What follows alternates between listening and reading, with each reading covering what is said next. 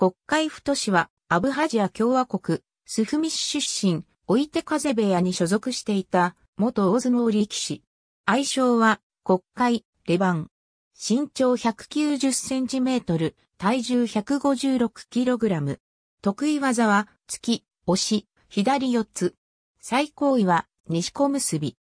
趣味は、音楽鑑賞、史上初のヨーロッパ出身の関取である。四股名は、故郷が面する国会にちなんで付けられた。2009年9月場所レスリングチャンピオンの長男として、ソビエト連邦アブハジア自治共和国、スフミで生まれる。6歳の頃からレスリングを始めた。12歳の時にアブハジア紛争で自宅が破壊され、首都のトビリシに一家で逃れる。グルジアのスポーツナショナルアカデミー在籍中に相撲に興味を持ち、ドイツで行われた世界アマチュア相撲選手権大会に参加した。2001年5月場所に初土俵を踏んだ。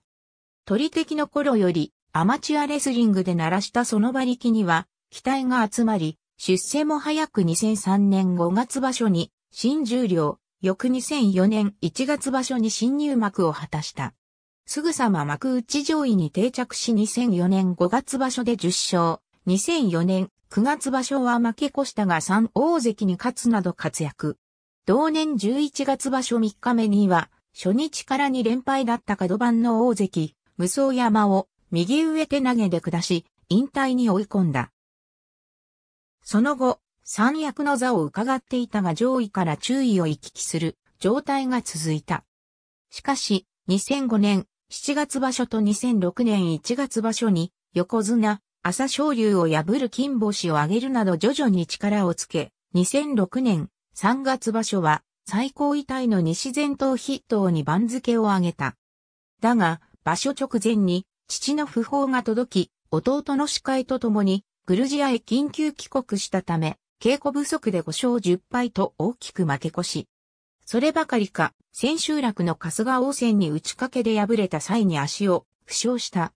翌5月場所は、完治していない足の怪我のために前半は3勝5敗と、黒星先行で苦しい場所だったが後半巻き返し、14日目に勝ち越しを決め、8勝7敗で場所を終えた。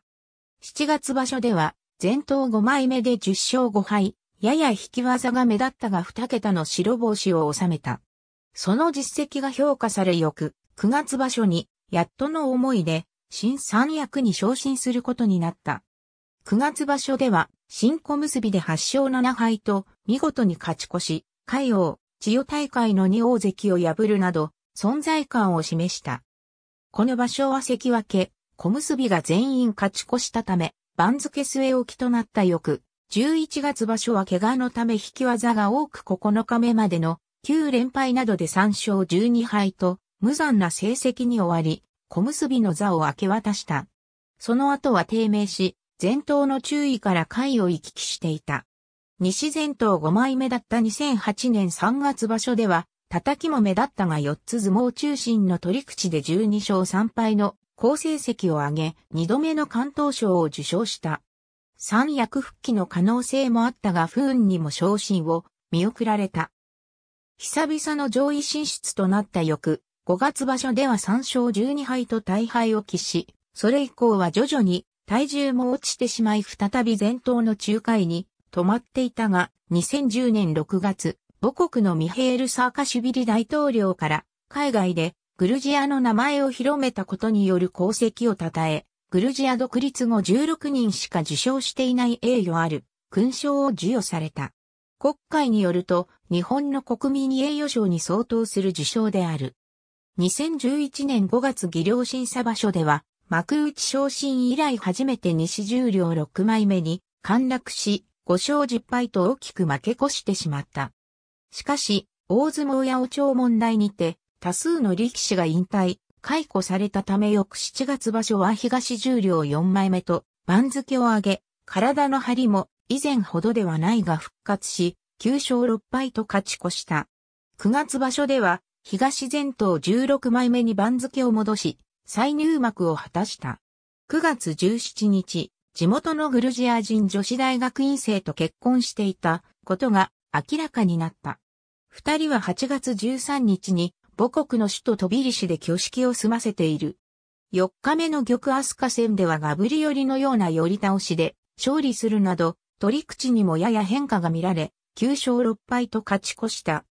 体の張りも先場所より明らかに増し、復活の兆しを見せていたが、翌11月場所は西前頭10枚目で1勝14敗と大きく負け越し、再び重量に陥落した。2012年1月場所、3月場所は制裁を隠す相撲が続いた。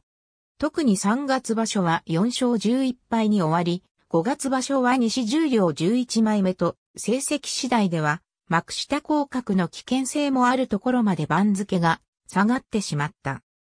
5月場所では、両肘、両膝に大きなサポーターをつけながらの土俵が続いていたが、10日目の高志の山との取り組みで負傷した左大腿部肉離れのため、11日目は現役初の休場となり、当時の現役関取で1位の連続出場記録が882日でストップした。13日目から再出場し、千秋楽に4場所ぶりの勝ち越しを決めた。2012年9月場所は負傷のため3日目から途中休場し、師匠の追い手風親方も中日までに出られない時は決断しないといけないでしょう、と語っていたが、9月場所13日目の9月21日に現役引退を発表した。日本国籍を取得していないため年寄り襲名はできなかった。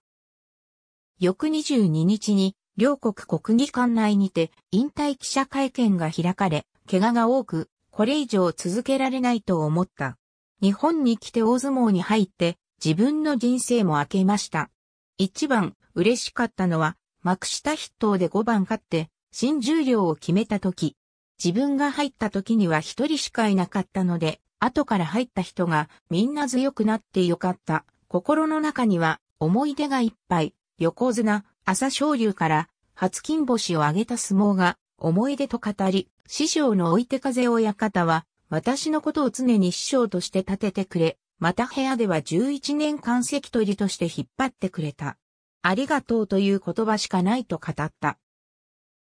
断髪式は2013年2月2日に東京都内のホテルで行われた。現在は祖国グルジアで日本食レストランを経営する傍らでアマチュア相撲の指導を行っており、日本とグルジアの関係が良くなるために力になりたいと政治家になることも考えているという。2015年11月9日に放送された未来世紀ジパングでは、飛び立市で日本車の中古販売ビジネスを始めようと奮闘している様子が紹介された。なお、弟のギオルギ・ザグリアも来日して力士となり、司会、ジョージの四股名で三段目18枚目まで昇進したが、膝を大怪我したことや、父が亡くなったこともあり、家業を継ぐため2006年9月場所を最後に引退し、帰国している。髭を剃った状態の国会。ありがとうございます。